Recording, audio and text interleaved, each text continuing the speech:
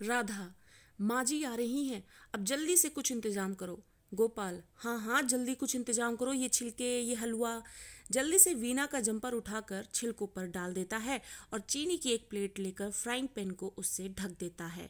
जमुना वीना वीना दरवाजे के पास आकर दरवाजे को धकेल कर खोलती है। श्याम कंधे हिलाकर पास से हट जाता है।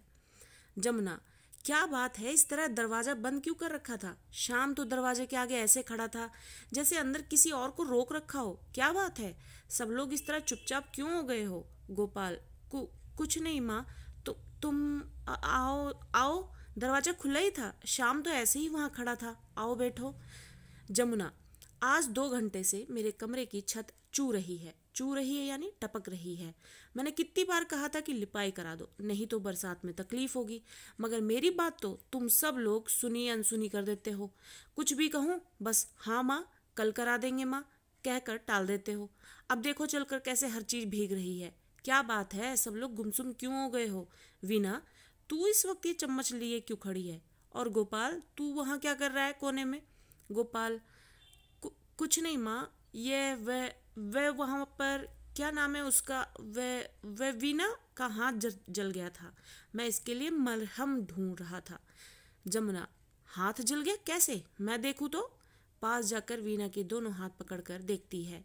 वीना नहीं माँ जी ऐसा कुछ नहीं जला है। ये तो बस यूँ ही यूँ ही चिंता करने लगते हैं। बस जरा सा ही था। हाथ से मल दिया ठीक हो गया। गोपाल हाँ वैसे तो बिल्कुल ठीक हो गया, मगर मैंने कहा कि मरहम मिल जाए तो फिर भी लगा दूँ। कभी वक्त पर पता नहीं चलता और बाद में तकलीफ़ बढ़ जाती है। कहते हैं कि prevention is better than cure मतलब कि बाद में इलाज करने से पहले एहतियात बरतना ज़्यादा अच्छा है। इसलिए मैंने सोचा कि एहतियात के तौर पर थोड़ी मरहम लगा दूँ। जमुना, मगर इसका हाथ जला कैसे? इस वक्त ये ऐसा क्या काम कर रही थी? गोपाल, कुछ नहीं कुछ नहीं। कर कुछ नहीं रही थी। शाम ने कहा था, जरा हाथ चाय बना दो उसके लिए, और चाय बना रही थी। अब आप देखेंगे इस तरीके से कि क्योंकि घर में अंडे, सिगरेट और उपन्यास पढ़ने जैसी चीज़ें बिल्कुल भी अलाउ नहीं है, यानी उनको स्वीकार नहीं किया जा सकता है किसी भी तरीके से, और हर कोई छुप छुपा कर काम करने में लगा है। यहाँ पर जमुना जमुना यानी कि इनकी माँ आती हैं कमरे में, जहाँ पर अंडे का हलवा तैयार हो रहा होता है और सभी सकपका जाते हैं। और इस तरीके से हर कोई एहतियात बरतने के चक्कर में फंसने की कगार पर आ जाता है और हर कोई बचने के लिए इधर उधर अफरा तफरी में आ जाते हैं। जमुना के आने पर, उनके प्रश्न करने पर हर कोई हड़बड़ाते हुए और परेशान होते हुए हर बात का उत्तर देता है। और कहीं कोई माँ को ये ना पता लग जाए कि यहाँ कमरे में अंडे का हलवा बन रहा था और बवाल हो जाए पूरे घर में, इस चीज़ से बचने के लिए हर कोई कुछ न कुछ झूठ पे झूठ बोले जा रहा था। और इस तरीके से गोपाल भी कहता है, कुछ नहीं कुछ नहीं, कर कुछ नहीं रही थी शाम ने कहा था, जरा चाय बना दो। तो उसके लिए चाय बना रही थी। यूँ चाय बनाने में हाथ जलना नहीं चाहिए, मगर बाज वक्त बाज वक्त यानी कि कई बार। ऐसा होता है। जलना था, सो जल गया। वैसे चिंता की कोई बात नहीं, मैं अभी मरहम लगा देता हूँ, और मरहम नहीं भी मिलता तो कोई बात नहीं। अपने आप ठीक हो जाएगा। बिल्कुल मामूली सा भी क्या, यही समझो कि जला ही नहीं है। अब तो महसूस भी नहीं होगा। क्यों वीना? वीना, जी हाँ बिल्कुल महसूस ही नहीं होता। गोपाल, और क्या? महसूस होने की कोई बात ही नहीं थी। तुम नाहक फ़िक्र कर रही हो, अम्मा। फ़िक्र करने की कोई बात ही नहीं है। तुम खुद देख रही हो, हाथ बिल्कुल ठीक हो गया है। जमुना। मैं पहले ही कह रही थी कि यह मरदूद मरदूद यानी निकम्मा, बिजली का चूल्हा इस घर में मत लाओ। मगर माँ की बात किसी के कान में जाती हो तो ना, यह मरदूद हाथ नहीं जलाएगा तो करंट मारेगा, करंट नहीं मारेगा तो हाथ जलाएगा। हमारे ज़माने में किसी ने ऐसी चीज़ों का नाम भी नहीं सुना था। यह इसके ऊपर क्या रखा है? और इस तरीके से बचते बचाते हर प्रश्न का उत्तर देते हुए कोई ना कोई ऐसा प्रश्न माँ के द्वारा सामने आ जाता है, जिसकी वजह से सभी परेशान हो जाते हैं और अपने आप को बचाने के लिए कोई ना कोई झूठ बोलते हैं। ऐसे ही यहाँ पर हाथ में चोट लगने की या फिर हाथ जल जाने की वजह बताते हुए यहाँ पर भी फंसने की कगार पर आ जाते हैं। तो जमुना जो है, उस बिजली के चूल्हे को कोसती है कि इसे घर में नहीं लाना चाहिए। माँ की बात तो कोई मानता ही नहीं। गोपाल, ये स्टोव के ऊपर? ये ये अम्मा, ये फ्राइंग पैन है? Frying pan? मतलब तलने की वह, क्या कहते हैं वह? जमुना तलने की क्या? क्या बहू यहाँ अलग से तुम्हें चीज़ें तल तल कर खिलाती है? लगता है इसमें कोई चीज़ बना कर रखी है, पास जाती हुई। मैं भी तो देखूँ कि नहीं बहू क्या क्या बनाकर खिलाती है? फ्राइंग पैन से प्लेट उठाने लगती है। गोपाल जाकर उसे बीच में ही रोक देता है। गोपाल, ना ना ना ना अम्मा इसे हाथ मत लगाना, हाथ मत लगाना। तो तुम आप ही कह रही थी कि ये हाथ नहीं जलाएगा तो करंट मारेगा और करंट नहीं मारेगा तो हाथ जलाएगा। ऐसी मरदूद चीज़ का कुछ पता नहीं होता है। थोड़े ही, पता थोड़े ही है अम्मा। मैं तो पछता रहा हूँ कि इसे क्यों घर ले आया। वह वापस ले ले तो मैं अभी जाकर इसे वापस कर दूँ। मुझे पता थोड़ी ही था कि इसकी वजह से ये। तो इस तरीके से गोपाल जो है अम्मा की कही हुई बात को, अम्मा को दोबारा सुनाता है और अपने आप को बचाने के तरीके ढूंढता है। शाम इस बीच चारपाई से चंद्रकांता उठाकर उसके पन्ने पलटने लगता है। एक बार राधा की ओर देखकर वह थोड़ा खखारता है। राधा गंभीर मुद्रा बनाए बैठी रहती है। यानी सब अपने अपने सीरियस मोड में है। चेहरे पे ऐसे ऐसे एक्सप्रेशन लिए बैठे हैं जिससे कि माँ को किसी भी तरह का कोई शक ना हो। जमुना, मगर ये तो बुझा हुआ है, ये बुझा हुआ भी करंट मारता है क्या? गोपाल हाँ माँ कभी कभी ये बुझा हुआ भी करंट मार देता है। इसका कोई भरोसा थोड़े ही है। ऐसी चीज़ से दूर ही रह जाए तो अच्छा है। कहीं तुम्हारा भी हाथ जल जला गया तो मुसीबत हो जाएगी। जमुना अच्छा नहीं हाथ लगाती, मगर बता तो सही कि इस पर छोटी बहुत तेले बनाती क्या क्या है? इस वक्त भी तो कुछ बना रखा है। गोपाल, कुछ नहीं है। माँ, इसमें कुछ खास चीज़ नहीं है। ये शाम जरा कह रहा था तो उसके लिए श्याम, सहसा चौक कर जैसे सफ़ाई देता हुआ, भैया, मैंने कहा कहा था? वह तो खुद भाभी का ही ख्याल था। क्यों भाभी? वीना हाँ हाँ मैं कब कहती हूँ कि मैंने नहीं कहा था? ठीक है, मैंने ही तुमसे कहा था। राधा सहसा उठकर पास आ जाती है। अब यहाँ पर जो सबसे बड़ी बहू है राधा, वो आ जाती है सामने और राधा अपनी बात सामने रखती है। राधा वीना ने भी नहीं, बल्कि हमने कहा था, गोपाल, जैसे आसमान से गिरकर, भाभी? राधा हाँ हाँ ठीक बात तो है। हम ही ने वीना से ज़ोर देकर कहा था कि पुलटिस बनाकर शाम के बाँध दो। पुलटिस यानी कि घाव पर बांधने वाला मरहम, जो एक तरीके से मरहम का काम करता है और घर पे बनाया जाता है। इसे अपने तन बदन की होश तो रहती नहीं है। क्रिकेट खेलने में कहीं टखने पर गेंद लग गई थी। दो दिन से कह रहा था कि चलने में ज़ोर पड़ता है।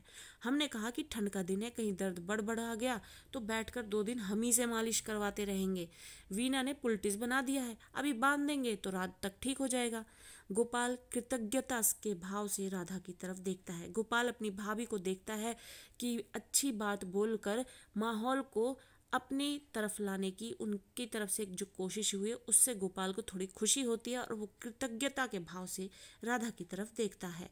गोपाल, यही तो मैं कह रहा था, ये लड़का अपनी सेहत का जरा ख्याल रखता ही नहीं है। बाद में जब ज़्यादा बिगाड़ हो जाता है तो मुसीबत घर वालों के, की हो जाती है। शाम को आग से इशारा करके, अब पुलटिस बंधवा कर चुपके से लेटे रहना, समझे? जमुना, लाओ मैं ही पुलटिस बाँध देती हूँ। अब अम्मा जो है उनकी माँ वो कहती है कि ये पुलटिस बांधने का काम मैं ही कर देती हूँ।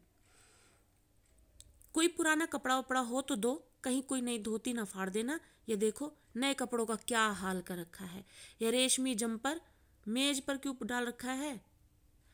यह मेज साफ़ करने के लिए है। यह मेज साफ़ करने के लिए है। मेज से जम्पर उठाना चाहती है, मगर गोपाल फिर बीच में आकर रोक देता है।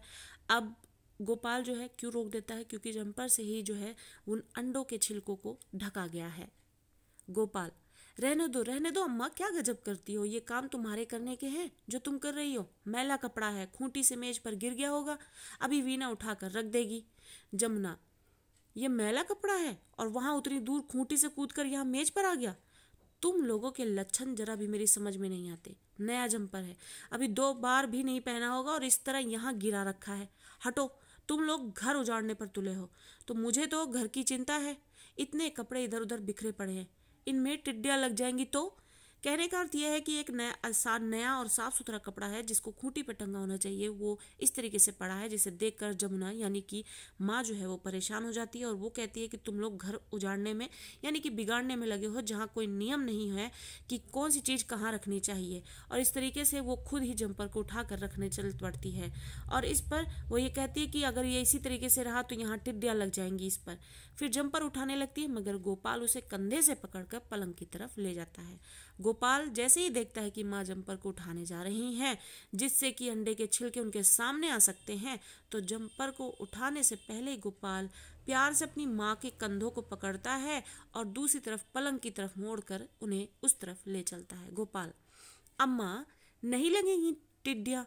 तुम तो खाम खा चिंता करती हो। यहाँ पलंग पर बैठो और थोड़ी देर आराम करो। बैठो बैठो, ये इस तरफ़। उसे दोनों कंधों से पकड़कर पलंग पर बिठा देता है। जमुना हाँ हाँ बैठकर आराम करूँ और मेरी जगह कोई दूसरा करेगा। मेरी जगह काम कोई दूसरा करेगा? घर में करने को इतने काम पड़े, इसे पुलटिस बाँध दूँ तो जाऊँ? दूसरों की मुसीबत कर देता है और आप किताबें पढ़ता रहता है। ला, मुझे दे ये किताब और यहाँ आकर लेट जा। उठकर शाम के हाथ से किताब ले लेती है। ये कौन सी किताब है? श्याम ये किताब? ये अम्मा ये मेरे कोर्स की मतलब मेरे कोर्स की किताब नहीं है, ये शायद ये भाभी की किताब है।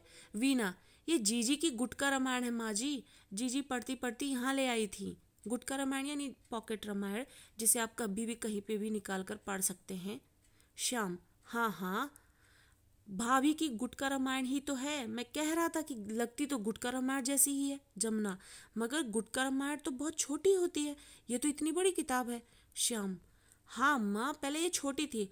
अब ये, मेरा मतलब है अम्मा कि इसका पहला एडिशन छोटा था, मगर जो नया एडिशन आया है वह पहले से बड़ा है।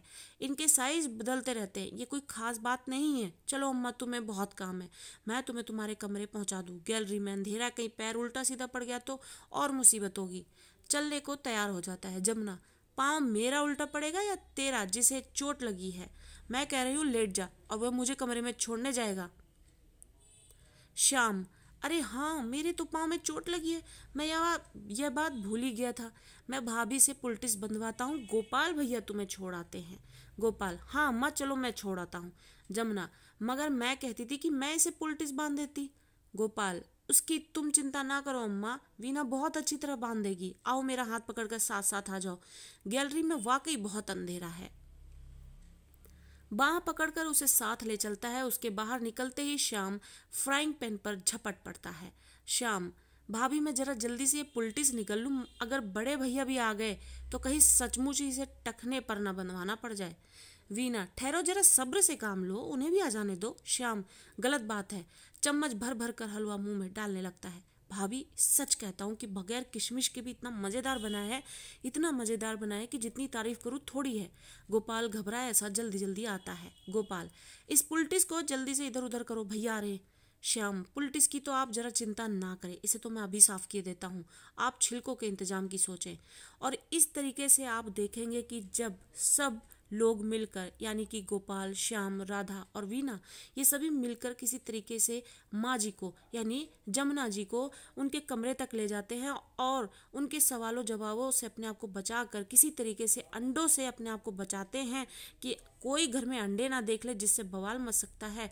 तो उसके बाद उनके बड़े भाई के आगमन का यहाँ पे अब डर फैल जाता है। और इस तरीके से अंडों के खाने और इस्तेमाल करने और उसके उपयोग करने की वजह से जो इस वक्त माहौल बना हुआ है, डर फैला हुआ है, उससे सभी अपने आप को बचाने में लगे हुए हैं। अब श्याम बोलते हैं कि पुलिटिक्स को जल्दी से निपटाओ या फिर इसे यहाँ से साफ़ करो या ख़त्म करो, क्योंकि अब बड़े भैया भी आएँगे तो शाम जो है उसको ख़त्म करने की कोशिश में लगा हुआ है और गोपाल अपने डर को दिखाते हुए ये बताता है कि भैया आ रहे हैं, जल्दी से इससे अपने आप को बचाओ। गोपाल, इस जंपर को उधर रखो और ये छिलके इन्हें तुम जल्दी से मेरे किसी मोजे में डाल दो, वीना। मगर आपके सब मोजे तो पहले ही पुराने छिलकों से भरे हुए हैं। गोपाल छिलके मेज से उठा लेता है और उन्हें हाथों में लिए हुए असमंजस में इधर उधर देखता है। गोपाल तो और किस चीज़ में डाल दें? मेरा टोप ही ले आओ या जल्दी से मेरे कोट की जेब में भर दो? सहसा माधव गैलरी से अंदर आ जाता है। अब यहाँ पर माधव जो कि सबसे बड़ा भाई है, सबसे बड़े हैं, बच्चों में, जमुना जी के बच्चों में सबसे बड़े हैं माधव, वो आते हैं गैलरी से और उनका आगमन होता है, जहाँ से अब आपको सीन कुछ और दिखाई देगा। अभी तक पाठ में हमने ये देखा कि घर में अंडा, सिगरेट और उपन्यास, ये सब वर्जित चीज़ें हैं जिनका इस्तेमाल बिल्कुल भी स्वीकार्य नहीं है, लेकिन घर में सभी छुप छुपा कर किसी न किसी तरीके से इनका उपयोग कर रहे होते हैं। अब माधव से होने वाली बात के ज़रिए घर में जो सदस्य हैं, वो किस तरीके से आपस में आत्मीय रूप से जुड़े हुए हैं, गलत होते हुए भी, जानते हुए भी, सब कोई जानते हैं, लेकिन फिर भी कोई इस बात को अपने मुँह से नहीं निकालता है कि ये सारी बातें घर के सभी सदस्य एक दूसरे के बारे में जानते हैं, और किस तरीके से इस घर के माहौल के बारे में पता लगता है जो अभी तक कल्पना के माध्यम से लोग सोच रहे हैं कि बड़ा ही सख्त माहौल होगा घर का, जिसकी वजह से अंडा खाना, सिगरेट छुप, सिगरेट पीना, उपन्यास पढ़ाना, इन सबको छुपाना पड़ रहा है। लेकिन अंदर ही अंदर ये आत्मीयता या फिर भाईचारा या फिर ये जुड़ाव जो घर परिवार में है, वो अब यहाँ से देखने को मिलेगा। माधव, क्यों भाई? क्या भर रहे हो कोट की जेबों में? कोई मेरे ना देखने की चीज़ तो नहीं है? गोपाल, हताश भाव से। आइए आइए भैया, आ जाइए आ जाइए। मैं यूँ ही जरा इन लोगों से मज़ाक कर रहा था। माधव, मज़ाक कर रहे थे कि छिलके तुम्हारी जेब में छिपा दिए जाएँ। हंसता हुआ स्टोव की तरफ़ जाता है। गोपाल, जी हाँ जी नहीं, मज़ाक नहीं, मेरा मतलब ये है कि माधव, तुम्हारा मतलब मैं समझता हूँ और तुम क्या खाकर मुँह पोछ रहे हो, श्याम बाबू? श्याम, मैं मैं भैया, ये मेरे लिए मेरे लिए भाभी ने पुलटिस बनाई थी, माधव। पुलटिस बनाई थी? और वो, तुम वह पुलटिस गले से नीचे उतार गए, हंसकर। क्यों हंसता है? क्योंकि पुलटिस जो है घाव पर बांधने वाली चीज़ें होती हैं, और माधव बता, श्याम बता रहा है कि उसने उसको खा लिया है, और इस बात पे माधव को हँसी आती है, क्योंकि घबराहट में वो उल्टा फुलटा बोल रहा है। खूब। तो आजकल पुलटिस खाने के काम भी आने लगी है। भला ये तो बताओ कि किस चीज़ की पुलटिस थी? जिस चीज़ के ये छिलके हैं उसी की या फिर श्याम बिल्कुल घबरा जाता है? श्याम। भैया, थी तो ये पुलटिस ही, मगर जल्दी में मैंने, मेरा मतलब है कि मैंने जल्दी में, माधव, तुमने जल्दी में सोचा कि इसे खा डाला जाए? फिर हंसकर, बहुत अच्छा किया। बनी हुई चीज़ का कोई तो इस्तेमाल होना ही चाहिए। और तुम गोपाल, तुम ये छिलके जेब में क्यों भरते हो? बाहर जाकर इन्हें नाली में डाल दो। आगे से डिब्बे में भरकर बाहर ले जाने की ज़रूरत नहीं है। गोपाल, मगर भैया, माधव, भैया, सब जानते हैं राजा। वे ये भी जानते हैं कि तुम्हारे बाएँ हाथ की उंगलियाँ किस तरह पीली हुई हैं। ये भी जानते हैं कि श्याम बाबू का दूध कमरे में क्यों जाता है। और यह भी जानते हैं कि उनके सो जाने पर उनकी बीवी मोमबत्ती जलाकर कौन सी किताब पढ़ा करती है। और माधव द्वारा बोले गए इन वाक्यों से ये पता लगता है कि घर में इतना प्यार है लोगों में कि अगर आधुनिकता के चलते लोग अपनी ख्वाहिशों को पूरा करना चाहते हैं, जिसे वो छुप छुपा कर कर रहे हैं, और घर में माँ जी और बड़े भाई के डर की वजह से इसको छुपाया जा रहा है। लेकिन ये सारी बातें वो भी जानते हैं, जिसके पीछे की वजह ये है कि आत्मीयता और प्यार का होना घर में बहुत ज़रूरी है। बजाय कि आधुनिकता की वजह से घर में सवाल जवाब हो या फिर किसी तरीके का बवाल हो, अगर आधुनिकता में आकर आजकल के ज़माने के बच्चे अगर अपनी किसी तरह की ख्वाहिश को पूरा करना चाहते हैं तो उसको सम्मान के साथ घर में अगर आप स्वीकार्य नहीं किया जा सकता है तो अगर कर रहे हैं तो उस पर बवाल भी नहीं किया जा रहा है। यहाँ पर माधव के माध्यम से और ये बताने पर कि माँ भी इस बारे में जानती है पता चलता है कि भाईचारा, आत्मीयता या या फिर प्यार, स्नेह, ये घर में बना होना उनके लिए ज़्यादा मायने रखता है। सबके मुँह से आश्चर्य से तरह तरह के शब्द निकलते हैं। माधव हंसता रहता है। माधव इसलिए हंसता है क्योंकि वीना राधा, श्याम और गोपाल, ये सभी इतनी कोशिशों में लगे हुए थे कि ये सब चीज़ें घर में और कोई ना जान पाए। लेकिन माधव के ये बताने पर कि माँ और मैं ये सारी बातें पहले से ही जानते हैं। तो इस बात पर माधव हंसता है। गोपाल, भैया, आप, अब आपसे क्या छुपाना है? आप तो सब कुछ जानते हैं, मगर देखिए, अम्मा से नहीं कहिएगा। अम्मा को पता चल गया तो बस किसी की खैर नहीं है। माधव, अम्मा से ना कहूँ? हंसकर, तुम समझते हो कि अम्मा ये सब नहीं जानती? श्याम और गोपाल, हैं? अम्मा भी जानती हैं? माधव, क्यों नहीं जानती? अम्मा तो शायद मेरी वे बातें भी जानती हैं जो मैं समझता हूँ कि वे नहीं जानती हैं। माधव, अब यहाँ पर इस वाक्य से, एक वाक्य से माँ की महत्वता का, घर परिवार में बड़ों की महत्वता को यहाँ पर प्रतिबिंबित कर रहे हैं। कहने का अर्थ यह है कि आप सोच रहे हैं कि आपका कोई भी व्यवहार घर के बड़े बूढ़ों से छिप सकता है तो वो नहीं है। बड़े बूढ़े सब कुछ जान रहे हैं, समझते हैं, आधुनिकता है। आधुनिकता में बच्चे कभी कभार फंस भी जाते हैं, या फिर घर में उनके क्या चल रहा है, उनको हर एक चीज़ की खबर होती है। पर इस बात पर उन्होंने कोई भी बात ज़ाहिर नहीं की अपने मन की, या स्वीकार्य है, या अस्वीकार्यता, ये सब चीज़ें भी पेश नहीं की गई घर में तो सिर्फ़ इस वजह से कि घर में आपसी प्रेम बना रहे। ये एकजुट रहना घर परिवार में उनके लिए ज़्यादा मायने रखता है। आज से छिलके जो हैं वो नाली में डाल दिया करो। इनके लिए डिब्बा रखने की ज़रूरत नहीं और जहाँ तक अम्मा का सवाल है, अम्मा इन्हें नाली में पड़े हुए भी नहीं देखेंगी। कहने का अर्थ है कि अम्मा को इस चीज़ से अगर घृणा भी है तो वो देख कर भी उसे अनदेखा कर देंगी। हल्की हल्की हँसी हंसता रहता है। और इस तरीके से माधव के आने से ये बात सामने आती है कि परिवार में एकजुटता, आत्मीयता, भाईचारा, प्रेम, स्नेह, ये ज़्यादा मायने रखते हैं, ना कि आधुनिकता में आधुनिकता के दिखावे में या फिर उसके शौक में आकर घर के बच्चे जो हैं, अगर अपने किसी शौक को पूरा कर रहे हैं तो उस पर बवाल करके घर को या फिर घर की शांति को, स्नेह को, प्यार को ख़त्म कर दिया जाए, उस पर बवाल करके तो ये उनके लिए स्वीकार्य नहीं है। तो अंडे के छिलके पाठ का नाम इसीलिए रखा गया है कि जो चीज़ें वर्जित थी घर में, परंपराओं के चलते और बच्चे जो हैं अपनी परंपराओं को जानते हुए भी आधुनिकता के जाल में फंस जाते हैं और अपनी शौक को पूरा करने चाहते हैं, लेकिन घर में इस बात को ज़ाहिर भी नहीं करते क्योंकि वो अपनी परंपराओं को भी जानते हैं।